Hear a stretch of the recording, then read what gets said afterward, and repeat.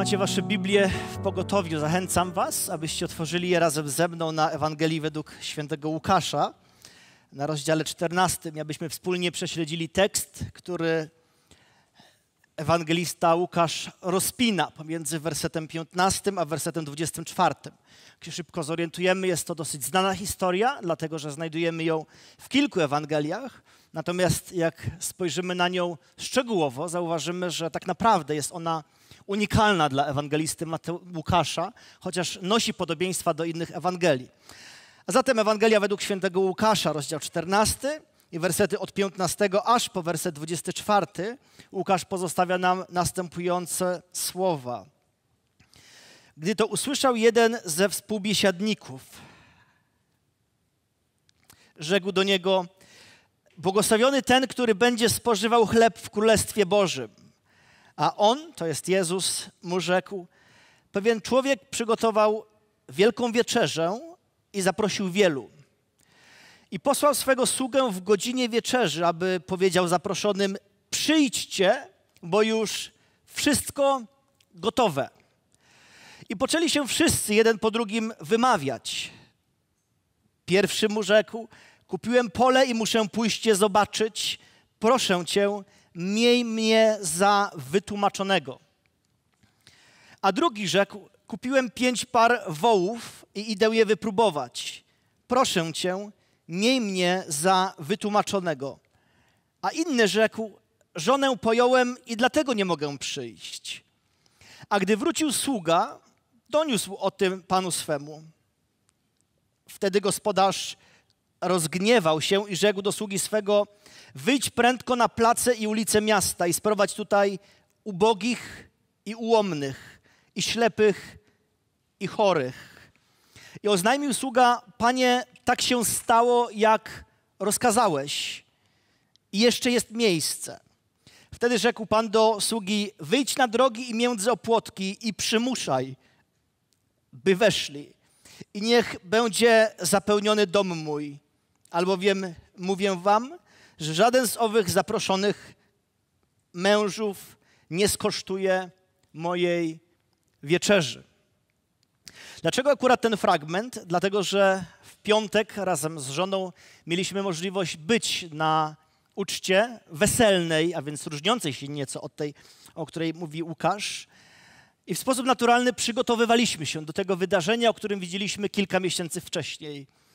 I gdy czytałem Ewangelię Łukasza i trafiłem na ten tekst, zauważyłem pewną symetrię do naszych ostatnich doświadczeń. E, jaki jest kontekst historii, o której pisze Łukasz? Kontekst ten jest do znalezienia w całym rozdziale 14 i otwarty już jest w wersecie pierwszym, w którym dowiadujemy się, że Jezus znalazł się na jakiejś uczcie, na jakimś przyjęciu. Dokładnie Łukasz pisze, że został zaproszony przez jednego z przedniejszych faryzeuszów, aby spożyć z nim posiłek. Ten posiłek był dosyć ciekawy i zaryzykowałbym twierdzenie, że wszyscy jak mąż czulibyśmy się bardzo niekomfortowo na tym posiłku, dlatego że nie tylko był tam Jezus i ów człowiek, który go zaprosił, ale możemy domniemywać, gdy spoglądamy na tekst, że było tam dużo więcej osób, które przyglądały się Jezusowi. Łukasz stwierdza w wersecie pierwszym, że go podpatrywali. Jest to bardzo dziwne spotkanie, na którym chcemy coś zjeść, a mamy wrażenie, że wszyscy na nas patrzą. Jeżeli jesteśmy dobrze wychowani, jeżeli mamy maniery i wiemy, że na nas patrzą, będziemy się trzy razy zastanawiać, zanim chwycimy sztuczce, mając świadomość, że istnieje pewna etykieta i wypada zacząć od tych, które są na zewnątrz, nie od tych, które są wewnątrz. Następnie wypada, aby nałożyć sobie tyle, żeby innym też starczyło. Następnie wypada do ust widelcem albo łyżką przenieść tyle, żeby za długo ten pokarm w ustach się nie odkładał. A więc istnieje cały savoir vivre albo etykieta, która mówi, jak należy jeść, gdy znajdujemy się w określonych okolicznościach. I gdy wiemy, że ludzie patrzą, a chcemy coś zjeść, mamy świadomość, że są to okoliczności średnio sprzyjające temu, żeby się najeść. ponieważ inni spoglądają właśnie na nas. Można się troszkę poczuć jak małpka w zoo, której dzieci rzucają okruchy i patrzą, jak zareaguje. Czy małpka spełni ich oczekiwania, czy nie. Postawieni w takiej sytuacji odczuwamy zupełnie naturalny dyskomfort i chcielibyśmy się możliwie szybko wydostać. Chcielibyśmy opuścić takie miejsce, zmienić towarzystwo, przekształcić otoczenie. Ale spójrzmy na sytuację troszkę z drugiej strony. Nie ze strony tego, który jest obserwowany, ale ze strony tego, który obserwuje. Kiedy my się komuś bacznie przyglądamy? Wtedy, gdy mamy jakieś oczekiwania albo jakieś wyobrażenie odnośnie tego, jak ktoś powinien się zachować w danej okoliczności. Wtedy się przyglądamy, ponieważ chcemy albo potwierdzić, albo zaprzeczyć, że dana osoba będzie w stanie zachować się w określony sposób. Przykładów można mnożyć. Zwracamy uwagę, że ktoś powiedział dzień dobry, a nie chwała Bogu. Albo że wszedł pierwszy, a powinien wpuścić najpierw kobietę. Albo że ktoś wnosił wózek po schodach i został minięty przez mężczyznę, który przecież mógł pomóc. Mamy jakieś oczekiwania odnoszące się do ludzi, którzy znajdują się naokoło nas i bacznie się przyglądamy wtedy, gdy chcemy wiedzieć, czy ktoś, kto nas otacza, wpisuje się w nasze oczekiwania, czy też nie. I uczciwie musimy przyznać, że w większości zawodzimy w tym zakresie, albo użyję mocniejszego słowa, grzeszymy w tym zakresie. Wielokrotnie, gdy goście opuszczają nasz dom, dzielimy się wewnątrz domu obserwacjami, których nie wypowiedzielibyśmy wtedy, gdy goście są jeszcze w domu. Albo myślimy rzeczy, których nie powiedzielibyśmy im wprost. Albo gdy opuszczamy czyjś dom, zaczynamy myśleć o rzeczach, o których nie porozmawialibyśmy, gdy jeszcze u kogoś byliśmy. Mogą być to komentarze luźno odnoszące się do koloru ścian, albo pajęczyny, która wisiała, albo zbyt zimnej potrawy, albo do sposobu, w jaki zachowywały się dzieci. Są to rzeczy, których nie powiemy wprost, ale gdy tylko wychodzimy, albo gdy tylko ktoś wychodzi, myślimy o tym, ponieważ mamy jakiś zestaw kryteriów i sprawdzamy, czy ktoś w ten zestaw się wpisuje, czy nie. I w tym obszarze popełniamy wiele błędów. Gdy byłem jeszcze studentem na trzecim roku studiów, odbywałem praktyki w w Westfalii. Jeden z moich kolegów, kolegów był fanem motoryzacji. Zostaliśmy zaproszeni na obiad przez pewną niemiecką rodzinę. Człowiek ten był chirurgiem, bardzo zamożnym jeździł najnowszym Ferrari.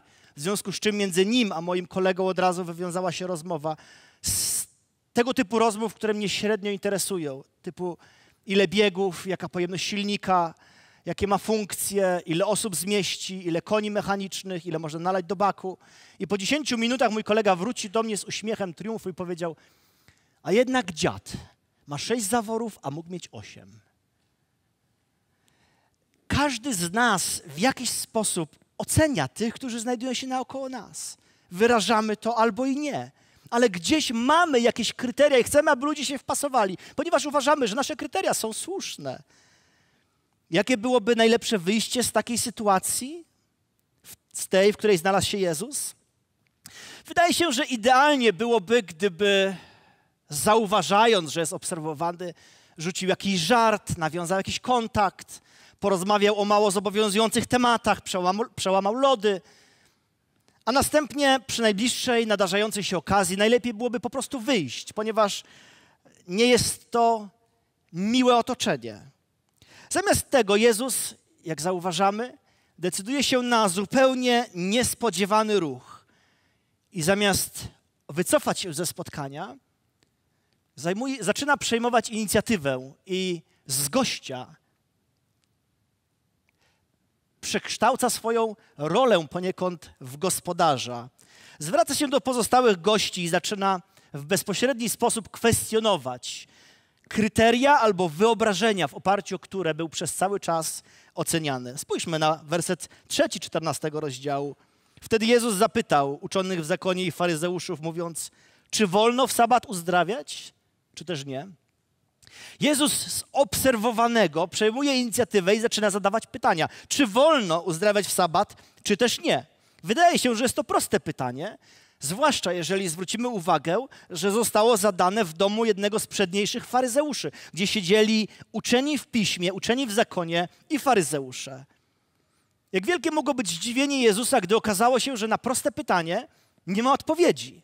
Spójrzcie na werset czwarty. A oni milczeli. Współcześnie zdajemy sobie sprawę z tego, że ludzie przyswajają wiedzę na różne sposoby. Są ci, którzy najpierw muszą zrozumieć teorię, żeby z teorii mogli przejść do praktyki. I są to osoby, którym, które są mi szczególnie bliskie, ponieważ mnie Bóg stworzył w taki sposób. Jeżeli rozmawia się o zagadnieniu dla mnie nowym, w czysto praktyczny sposób, zauważam, że mój umysł się po prostu wyłącza. Ale gdybym najpierw dostał jakiś rysunek, schemat, diagram, algorytm i dopiero rozmowa przeszłaby na, na, na tematy praktyczne, jestem w stanie się w niej odnaleźć. Ale są też osoby, które najpierw muszą zobaczyć zagadnienie z praktycznej strony, żeby mogły pojąć teorię. I najlepsi nauczyciele w szkole to są ci, którzy rozumieją różne sposoby, na które dzieci przyswajają wiedzę. I są w stanie dotrzeć zarówno do tych dzieci, które najpierw muszą zrozumieć teorię, jak i do tych, które najpierw muszą zrozumieć praktykę. Jezus robi to w mistrzowski sposób.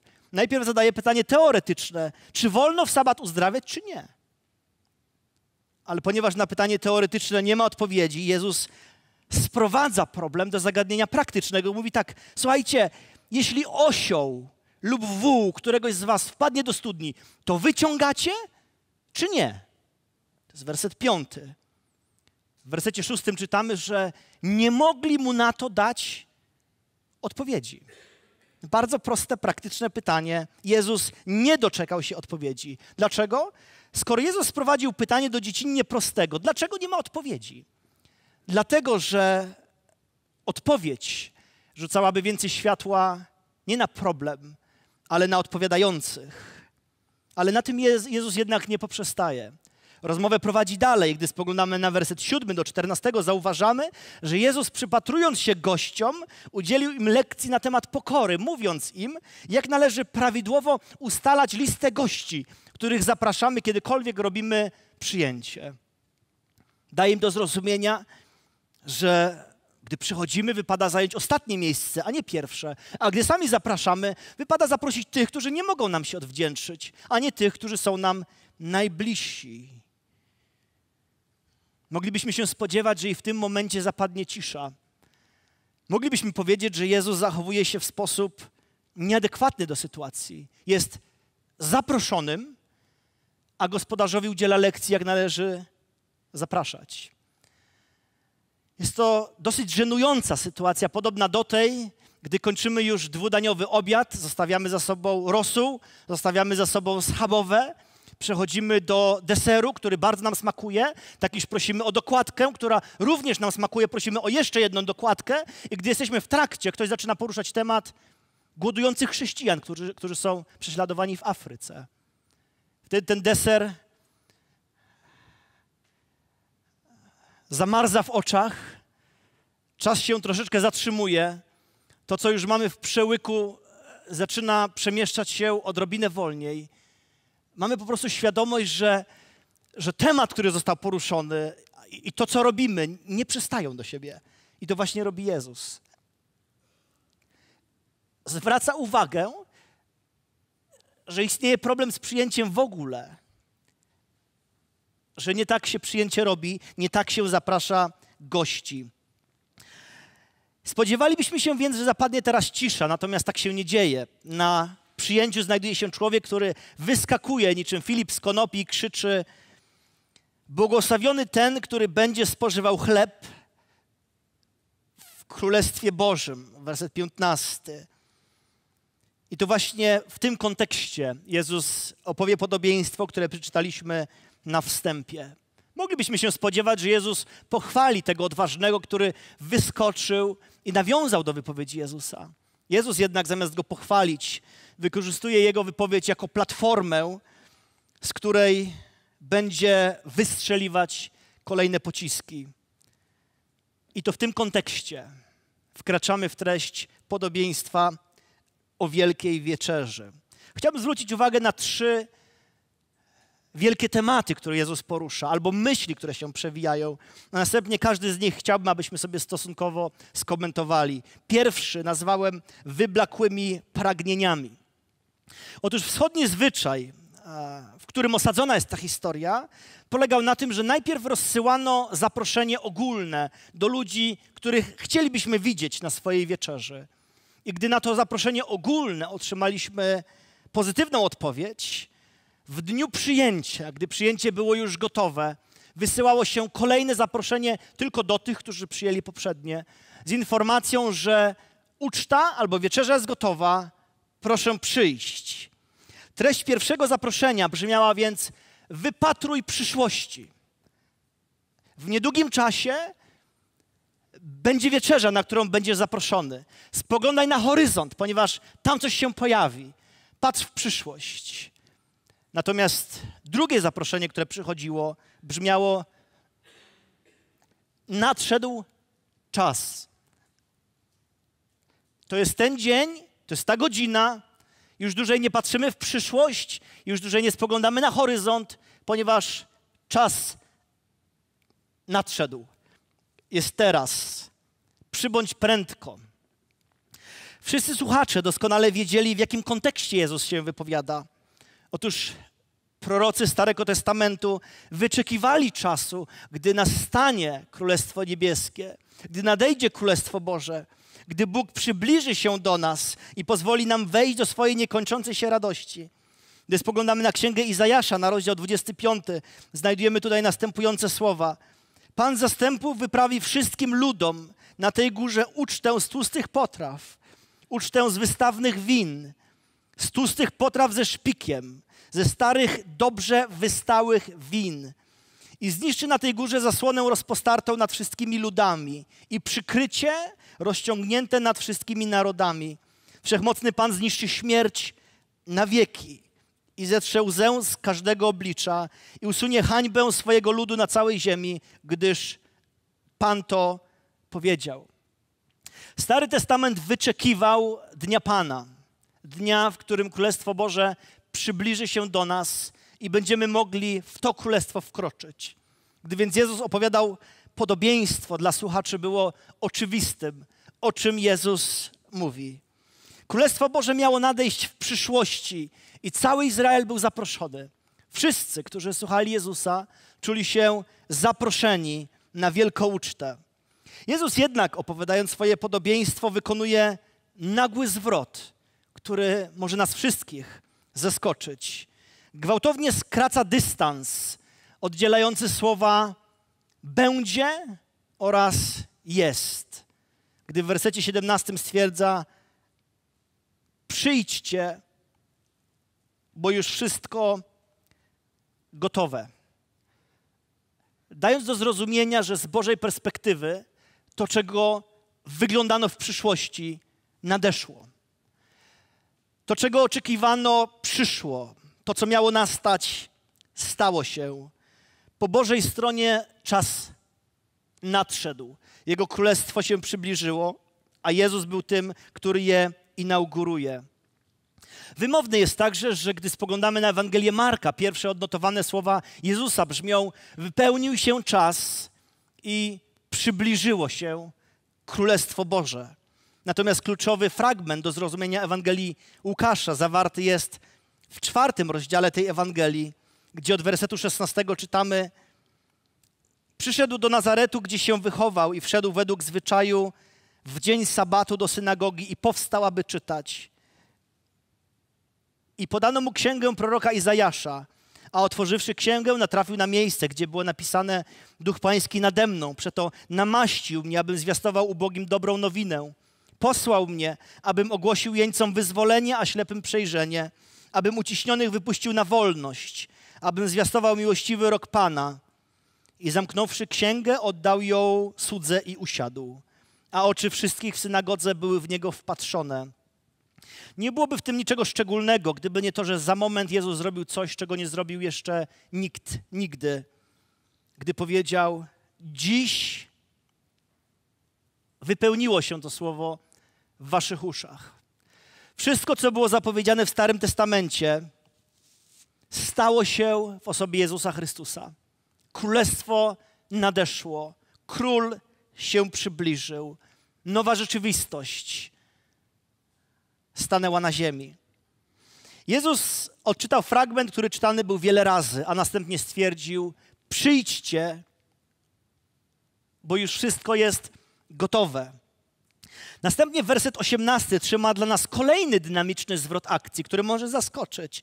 Wszyscy, wszyscy, którzy przyjęli zaproszenie, teraz zaczynają się z tego wykręcać.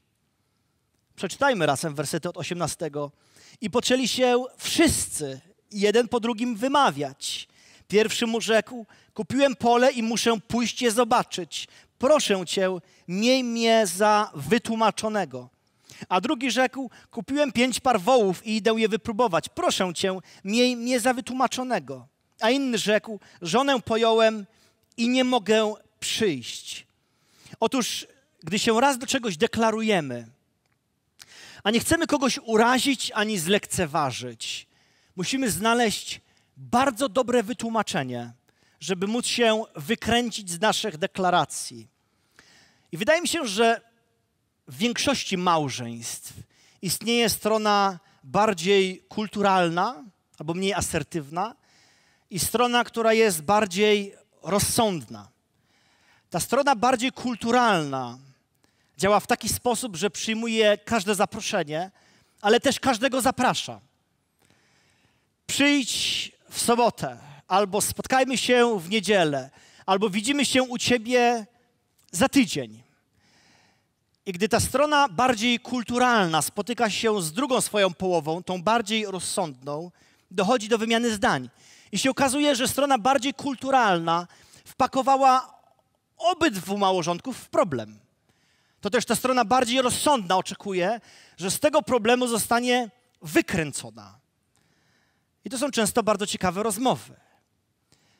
Na przykład, gdy jeden z małżonków jest zapraszany i jest z tą stroną bardziej kulturalną, odpowiada: Muszę to skonsultować z żoną, ale chciałbym przyjść. I gdy wreszcie rozmawia z żoną i zdaje w sposób szczery relację z wydarzenia, żona mówi: Czyli jeśli powiedziałeś, że musisz skonsultować ze mną, a chcesz przyjść i teraz odmówisz, to wszyscy będą wiedzieć, że nie idziemy dlatego, że to ja nie chcę. Więc musisz się jakoś inaczej z tego teraz wykręcić. Tak to działa? Jeżeli nie chcemy kogoś obrazić, ani zlekceważyć, ale też nie chcemy się wpakować w kolejne tarapaty, szukamy dobrych wytłumaczeń. Nie możemy po prostu nie przyjść. Nie możemy zignorować osoby zaproszonej, ale musimy się jakoś wymigać. I bardzo często, gdy strona kulturalna rozmawia ze stroną rozsądną, pada stwierdzenie: wymyśl coś. Uśmiechy, które widzę, traktuję jako afirmację, że nie ja jeden zmagam się e, z trudami życia codziennego. Wszyscy się z tym zmagamy. Deklarujemy rzeczy, których nie jesteśmy w stanie zrobić, a potem musimy coś wymyśleć. I bywamy niejednokrotnie bardzo kreatywni, balansując pomiędzy tym, co nazwijmy kłamstwem, a tym, co jest zlekceważeniem osoby, przed którą chcemy się wybielić. Z jednej strony nie chcemy skłamać, a z drugiej strony nie chcemy powiedzieć, jak jest, żeby kogoś nie obrazić. I bywamy bardzo kreatywni. Jak kreatywne wymówki padają w historii Jezusa? Spójrzmy na nie razem. Pierwsza brzmi: Kupiłem pole i muszę pójść je zobaczyć. Proszę cię, miej mnie za wytłumaczonego. Chciało, chciałoby się spytać, czy kupiłeś pole, a najpierw go w takim razie nie widziałeś? Nie widziałeś, co kupujesz? Zapłaciłeś za coś, a teraz idziesz zobaczyć, czy istnieje? No ale nie będziemy wywierać presji. Niejednokrotnie, gdy ktoś nam odmawia, słyszymy tego typu wymówki, które wiemy, że są słabe, wiemy, że nie mają pokrycia w rzeczywistości, ale z kultury nie wywieramy presji. Ale gdybyśmy chcieli być uczciwi, to powiedzielibyśmy: idziesz zobaczyć pole, które kupiłeś, a do tej pory go nie widziałeś? A jak już się napatrzysz przez pierwszych 30 sekund, co będziesz robił dalej, przez resztę dnia? Też będziesz patrzył albo będziesz żył wspomnieniami? Ile można patrzeć na pole? Nie możesz pojechać później, nie możesz pojechać szybciej, a skoro już je kupiłeś, możesz zobaczyć jutro. Pole nigdzie nie pójdzie. Nie ma przecież nóg. No ale nie chcemy wywierać presji. Zauważamy jednak, że Jest to tylko pretekst, jest to tania wymówka, aby nie przyjść. Drugi człowiek stwierdza: Kupiłem pięć par wołów i idę je wypróbować. To wytłumaczenie bawi mnie z kilku powodów. Przede wszystkim wieczerza jest organizowana w porze wieczornej, która średnio pasuje do tego, żeby zaprzęgać woły i puszczać w pole.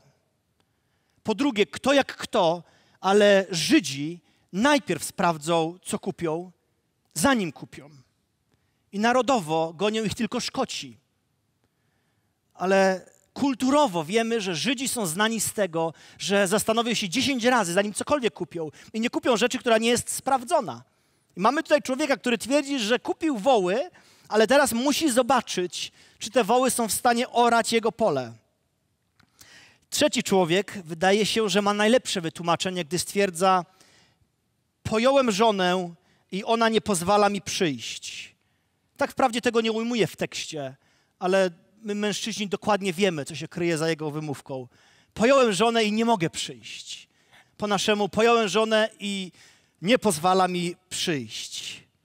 I to wytłumaczenie byłoby nawet najlepsze, szczególnie jeżeli weźmiemy pod uwagę księgi mojżeszowe, które zalecają, aby każdy mężczyzna tuż po ślubie dał sobie rok wolnego od służby wojskowej, aby mógł zostać ze swoją żoną w domu i przez rok udowadniać, jak wspaniałym i troszczącym się jest mężem. Jest jednak różnica pomiędzy służbą wojskową a przybyciem na wieczerze. Poza tym moglibyśmy zapytać, gdybyśmy chcieli, gdy dostałeś zaproszenie kilka dni temu, to nie wiedziałeś, że będziesz się żenił? A poza tym nie możesz wziąć swojej żony i przyjść z nią? Wiemy, co byśmy usłyszeli. Mogę przyjść z żoną, ale wszyscy wiemy, jak to się skończy. I gdy słuchamy historii Jezusa, zauważamy, że otrzymujemy wymówkę za wymówką i żadna z nich nie jest wystarczająco dobra, abyśmy mogli usprawiedliwić tego, który nie przychodzi. Widzimy co prawda różne wymówki, ale jedną intencję. Nie mogę przyjść. Biznes mnie wzywa, jestem zbyt zajęty, buduję dom, muszę zarobić, mam do wychowania dzieci, nie mogę przyjść.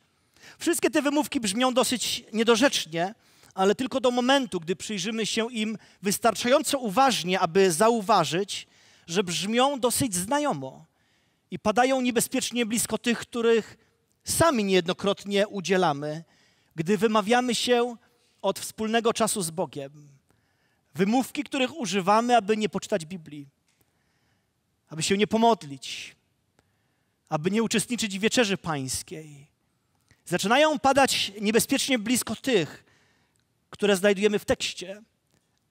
I taka też jest rola tej historii. Wymówki, chociaż są różne, są reprezentatywne w tym sensie, że oddają wszystkie te, których udzielamy my. Wymawiamy się niejednokrotnie, mówiąc, że jesteśmy zajęci, mamy pracę, mamy obowiązki albo zawodowe, albo rodzinne. Nie możemy przyjść.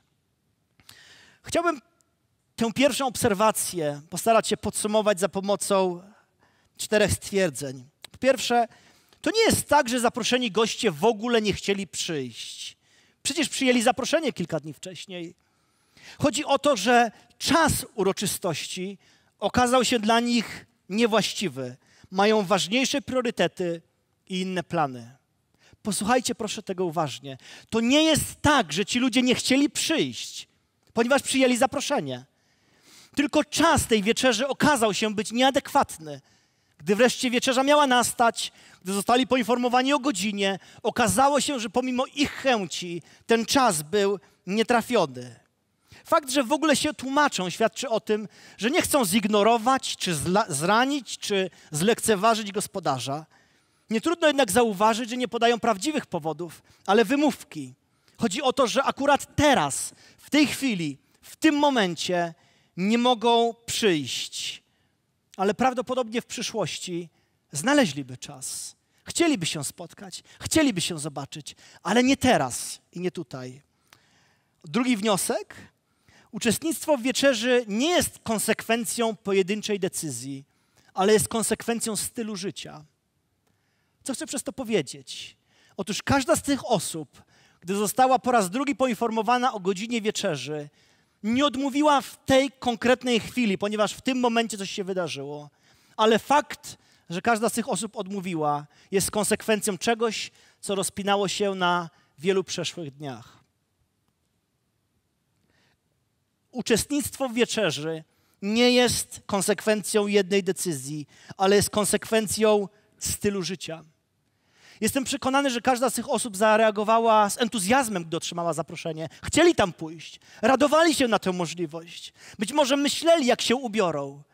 Ale ponieważ minął jakiś czas od zaproszenia aż do wieczerzy i problemów codziennie się nawarstwiało, w pewnym momencie każda z tych osób przewartościowała wieczerze wobec innych obowiązków życia codziennego i okazało się, że ta wieczerza została przykryta przez to, co dzieje się każdego dnia, przez same ważne rzeczy. Mówi się często, że to nasze przyzwyczajenie rodzi lekceważenie. Możemy oswoić się z myślą, że ta wieczerza nastaje. Entuzjazm tym samym znika. Radość się ulatnia. I gdy spojrzymy na Ewangelię Łukasza, tylko na rozdział wcześniej, zauważamy, że wypowiedź Jezusa z rozdziału 13 i wersetu 26 jest osadzona w tym samym kontekście czasów przyszłych, gdy Jezus mówi: Zaczniecie mówić, jadaliśmy z Tobą, pijaliśmy przed Tobą, na ulicach naszych nauczałeś. A on powie im: Nie wiem skąd jesteście, odejdźcie ode mnie wszyscy. Bardzo często przyzwyczajamy się do wielu zjawisk, do wielu rzeczy i to przyzwyczajenie sprawia, że zaczynamy te rzeczy lekceważyć. Możemy tak się oswoić z myślą, że idziemy na wieczerze. Możemy się dowiedzieć, że nie tylko idziemy my, ale idzie więcej osób. Każdego dnia pojawiają się nowe problemy i nowe wyzwania, każde z nich domaga się naszej uwagi, i to przyzwyczajenie do rzeczywistości sprawia, że zaczynamy lekceważyć rzeczy, które na samym początku ceniliśmy, którymi się rozkoszowaliśmy, którymi się radowaliśmy. Tym samym człowiek zbawiony to nie ten, który regularnie uczęszcza do kościoła. Człowiek zbawiony to nie ten, który poprawnie recytuje wyznania wiary. Człowiek zbawiony to nie ten, który nawet potrafi dobrze czynić, ale człowiek zbawiony to ten, który w swoim sercu potrafi ponad wszystko inne rozkoszować się Bogiem. I nie pozwala, aby cokolwiek innego tę rozkosz zabrało. Kolejny wniosek. Największym zagrożeniem dla zaproszonych okazał się nie grzech, ale to, co osłabiło ich apetyt. Zwróćcie uwagę, żaden z zaproszonych nie mówi: Nie mogę przyjść, bo będę wtedy rabować bank. Nie mogę przyjść, bo w tym czasie będę okradał sąsiada. Nie mogę przyjść, bo będę się kłócił z moją żoną. Nie mogę przyjść, bo będę ściągał na sprawdzianie. To, co sprawiło, że nie przyszli, nie było grzeszne samo w sobie. Było dobre samo w sobie. To nie grzech sprawił, że zaproszeni postanowili nie przyjść, ale dobre rzeczy sprawiły, że apetyt ustał. Wydaje mi się, że zbyt mocno przywykliśmy do przekonania, że śmiertelne zagrożenie dla naszej relacji z Bogiem płynie tylko i wyłącznie z grzechu. Podczas gdy historia, nad którą się pochylamy, pokazuje, że to nawet dobre rzeczy, które otrzymujemy od Boga, posiadają w sobie śmiertelne żądło, które potrafi nas ukłuć na nasze życzenie. Praca, którą daje nam Bóg, potrafi nas oddalić od Boga. Majątek, który daje nam Bóg, stan materialny, który zawdzięczamy Bogu, może nas oddalić od Boga. Żona, którą daje nam Bóg, może nas odprowadzić od Boga. Nie sama w sobie, ale poprzez naszą nieumiejętność obchodzenia się z tym, co Bóg nam daje.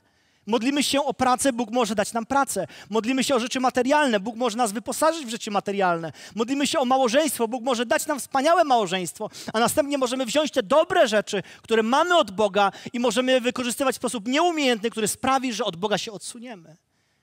To nie grzech sprawił, że każda z tych osób się wymówiła, ale Boże dary, które zostały potraktowane absolutnie nieumiejętnie. Niejednokrotnie próbujemy sami siebie oszukać i wmawiamy sobie, że jest jakiś grunt pośredni pomiędzy rozkoszowaniem się Bogiem i rozkoszowaniem się rzeczami, które Bóg daje. Ale apostoł Paweł, pisząc list do Galatów, chce wszystkich wyprowadzić z błędu, gdy stwierdza: Nie błądźcie, Bóg się nie da z siebie naśmiać. Jeżeli siejecie dla ciała, będziecie rządź śmierć. Jeżeli siejecie dla ducha, będziecie rządź życie. I pomiędzy tymi dwoma nie ma niczego innego. To, co siejemy każdego dnia, pokazuje nam, w czym nasze serce znajduje prawdziwą rozkosz. I wreszcie kolejna obserwacja. Nigdy nie możemy być zbyt zajęci, aby zlekceważyć Boże zaproszenie. Apostoł Paweł znowu stwierdza: czy jecie, czy pijecie, czy cokolwiek innego czynicie, czyńcie to na Bożą chwałę. W liście do Kolosan stwierdza: cokolwiek czynicie z duszy, jako dla Pana czyńcie. Można pójść, zobaczyć pole i zrobić to w sposób, który przynosi chwałę Bogu. Można to zrobić z duszy, dla Pana, traktując to jako coś, co otrzymałem od Boga, co nie zabiera mi radości wypływającej z tego, że należę do Niego. Można pójść przetestować woły i zrobić to w sposób, który, który daje Bogu chwałę. Można radować się wspaniałym małżeństwem i czyni to w sposób, który również uwielbia Boga. Nigdy nie możemy być zbyt zajęci, aby w tym wszystkim zlekceważyć Boga. Druga myśl, którą chciałbym zauważyć w całym tekście, to niezwykłe zaproszenie. Spoglądaliśmy przed momentem na rozkosz i pasje, które wygasły, ale teraz spójrzmy na niezwykłość zaproszenia, które jest wysłane. Gdy wrócił sługa, doniósł o tym panu swemu, czytamy od wersetu 21. Wtedy gospodarz rozgniewał się i rzekł do sługi swego: Wyjdź prędko na place i ulice miasta i sprowadź tutaj ubogich i ułomnych, i ślepych, i chromych. I oznajmił sługa: Panie, tak się stało, jak rozkazałeś, i jeszcze jest miejsce. Wtedy rzekł pan do sługi: Wyjdź na drogi między opłotki i przymuszaj, by weszli. I niech będzie zapełniony dom mój. Można na dwa sposoby próbować interpretować ten tekst. Pierwszy będzie literalny. Możemy po prostu powiedzieć, że jest to naturalna osnowa historii, która ma jedną oś i tą osią jest nasza gotowość, aby przyjąć zaproszenie. Natomiast można spojrzeć warstwę głębiej i powiedzieć, że skoro ta historia osadzona jest w konkretnym kontekście Jezus mówi ją do konkretnej grupy ludzi, w takim razie ci, którzy odrzucili zaproszenie, mogą być utożsamieni ze starotestamentowym Izraelem, z ludźmi, do których Jezus mówił. To do nich było wysłane zaproszenie. To oni byli zachęceni, aby wejść do Bożego Królestwa. Ale ponieważ uczeni w piśmie, faryzeusze i uczeni w zakonie, za co byli niejednokrotnie potępiani, nie tylko sami nie wchodzili, ale również zamykali innym drogę do wejścia. Zauważamy, że gdy przyszedł Jezus, Ewangelia została skierowana do innej grupy ludzi. Byli to ludzie biedni, chromi, pochodzący z marginesu społecznego, ludzie po prostu grzeszni. I wreszcie, gdy w Dniu Zielonych Świąt Bóg wzbudził do życia Kościół, Ewangelia była skierowana do trzeciej grupy ludzi, do której my się zaliczamy. I tą grupę nazywamy ogólnie poganami albo z narodów. I w tej historii widzimy trzy grupy, do których jest skierowane zaproszenie. Być może my znajdujemy się w jednej z nich. Być może zaproszenie skierowane jest także do nas. Widzimy, że w wyniku odrzucenia zaproszenia przez oryginalnie zaproszonych, zapraszana jest nowa grupa. Gospodarz ze swojej listy usuwa imiona i nazwiska tych, których chciał widzieć, a dodaje imiona i nazwiska ludzi, których nikt by się nie spodziewał. I wydaje mi się, że gdybyśmy dziś robili sondaż, kto będzie w niebie, do pierwszej grupy nasze społeczeństwo zaliczyłoby wszystkich religijnych. Tych, którzy się modlą, którzy chodzą do kościoła, którzy biorą udział w uroczystościach religijnych. Oni na pewno będą. A co z tymi, którzy nie są religijni, a dobrze się prowadzą, na przykład żyją moralnie? Czy oni będą? Wydaje mi się, że społeczeństwo powiedziałoby, że raczej będą. Trzeba dać im szansę. Skoro prowadzą się moralnie, a nie wierzą w Boga, powinni być w niebie.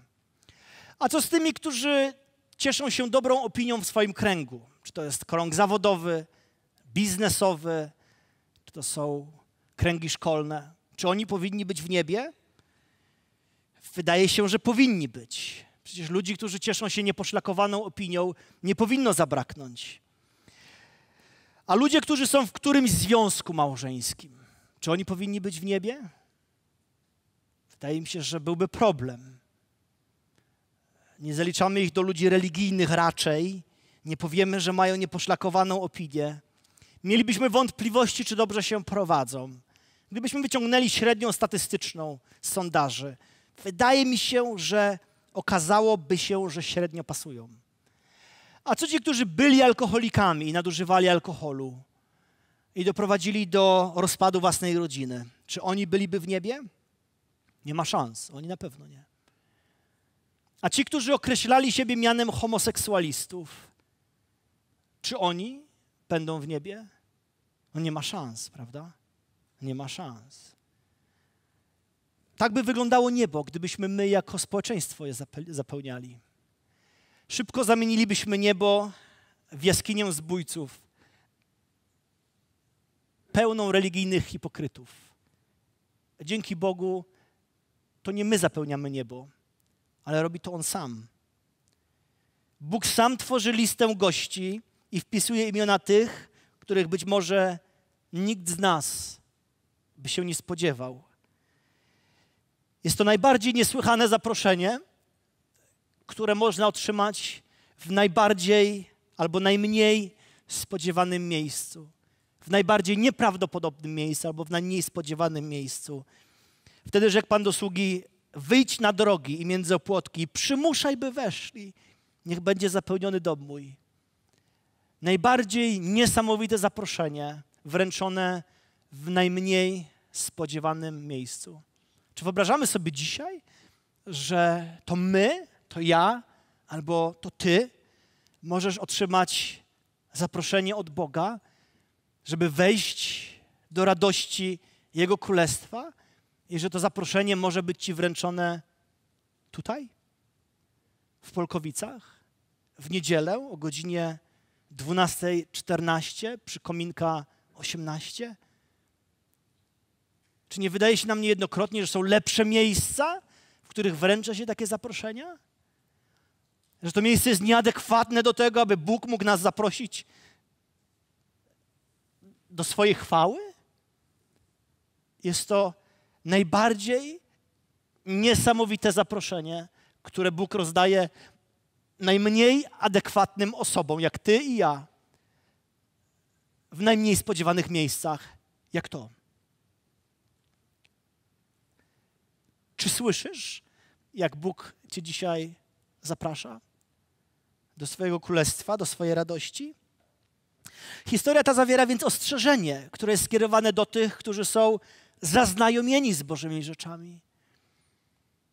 Pomylili swoją znajomość z prawdziwym zaufaniem Bogu, stąd rozbieżność pomiędzy ich słowami a ich praktycznym życiem. Mają wiedzę, ale nie mają Chrystusa. Historia ta zawiera informacje o niezwykłym zaproszeniu, które jest skierowane do ludzi, których my byśmy nie zaprosili. Ale czyż to nie brud czyni kąpiel atrakcyjną? To nie osoby czyste chcą się kąpać. To nie dla osób czystych kąpiel jest atrakcyjna. Ale gdy dziecko wraca z dworu po całym dniu biegania po wszystkich piaskownicach, bazach i osiedlach, ze wszystkimi dziećmi z całej okolicy. Wraca totalnie brudne, umorusane, także rodzic z trudnością poznaje swoje dziecko.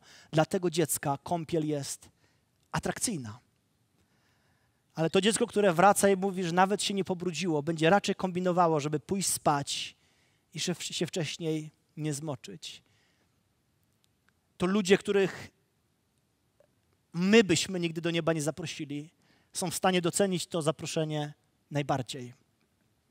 I trzecia rzecz, którą widzimy w tym tekście, to odpowiedzialne zadanie. Jest wiele osób, którym trzeba przekazać zaproszenie. Jest wiele dróg, wiele opłotków, do których musimy zajrzeć. Jest misja, którą musimy wykonać. Wyjdź na drogi i między opłotki, stwierdza gospodarz, i przymuszaj, by weszli, i niech się zapełni dom mój. Czy mamy w zwyczaju zapraszać ludzi na to wielkie święto, które się odbędzie? Czy mamy zdolność, aby powiedzieć: Spotkałem się z Chrystusem, który zmienił moje życie, musisz się z nim spotkać? Jest ktoś, z kim chciałbym Cię poznać, jest miejsce, do którego się wybieram, jest radość, która nadchodzi, jest królestwo, które nastaje. Musisz tam pójść, nie może Cię zabraknąć. Musisz go poznać, musisz się z nim spotkać, musisz tam być. Czy mamy zdolność, aby zachęcać innych ludzi? I gdy gospodarz mówi przymuszaj, nie ma na myśli bicia ludzi Biblią po głowie. Ma bardziej na myśli umiejętne podejście do, do ludzi, którzy sami z siebie uważają się za niegodnych, aby tam wejść. Ludzi, którzy spojrzą na siebie i powiedzą: Ja miałbym być zaproszony? Kogoś takiego jak ja Bóg chciałby widzieć? Dla mnie jest nadzieja, dla mnie jest szansa. To takich ludzi trzeba popychać do przodu. Nie tych, którzy uważają, że oni sami z siebie wszystko już osiągnęli. Jesteśmy zachęceni, aby przymuszać, przynaglać ludzi. Tak, Ciebie Bóg zaprasza, tak, Ciebie Bóg kocha, tak, do Ciebie Bóg kieruje wezwanie. Tak, dla Ciebie też jest ta nadzieja. I ostatnia rzecz, którą chciałbym zauważyć w tekście, zanim skończę. Zauważyliśmy, omawiając kontekst tego fragmentu, że Jezus bardzo szybko przechodzi z roli zaproszonego do roli gospodarza. A zwróćcie proszę uwagę, w jaki sposób zamyka to podobieństwo. Werset 24 mówi: Albowiem mówię wam, że żaden z owych zaproszonych mężów nie skosztuje mojej wieczerzy. Kto te słowa wypowiada? Czy to jest dalej gospodarz, który jest głównym aktorem podobieństwa? Czy też rola gospodarza zamknęła się na wersecie 23? Jezus sam wchodzi w jego rolę i mówi o swojej wieczerze. Chciałbym Was zostawić z takim niedopowiedzeniem, dlatego że, jak sądzę, obydwie możliwości prowadzą nas wyłącznie do słusznych wniosków. Ciekawe w tej historii jest to, że osoba, która gościła Jezusa, ludzie, którzy siedzieli naokoło Niego i byli przekonani, że będą Go oceniać i osądzać, nawet nie mieli pojęcia, że znajdowali się w towarzystwie tego, który wiedział wszystko o nich. Udali się na spotkanie, na którym byli przekonani, że będą sędziami, a zostali przez Boga przejrzani z góry do dołu i Bóg zobaczy ich wnętrze. Ciekawe jest to, że niejednokrotnie my myślimy, że jesteśmy tymi, którzy zapraszają Jezusa do swojego serca. Otwieramy przed Nim swoje wnętrze i czujemy się gospodarzami. Gościmy Jezusa w naszym życiu. Przychodzi On jako zaproszony, a my jesteśmy tymi, którzy są gospodarzami Mu służą. A niejednokrotnie nie uświadamiamy sobie, że rzeczywistość jest dokładnie odwrotna. Chociaż to my przed Nim otwieramy nasze drzwi, przychodzi On jako ten, który jest gospodarzem wieczerzy, który wie o nas wszystko i zaprasza nas do swojej radości. Istnieje rozkosz, której nie możemy pozwolić wyblaknąć. Pielęgnujmy ją każdego dnia. Gdy myślimy o tym, co nastaje, gdy wyglądamy Królestwa Bożego, które nadchodzi, nie pozwólmy, aby nawet dobre rzeczy, które daje nam Bóg, przysłoniły nam wartość Bożego Królestwa. Jest zaproszenie, które jest do nas skierowane. Przyjmijmy je, ponieważ jest wspaniałe. I jest misja, którą mamy wykonać. Wykonajmy ją, ponieważ gospodarz i uczta są tego godni.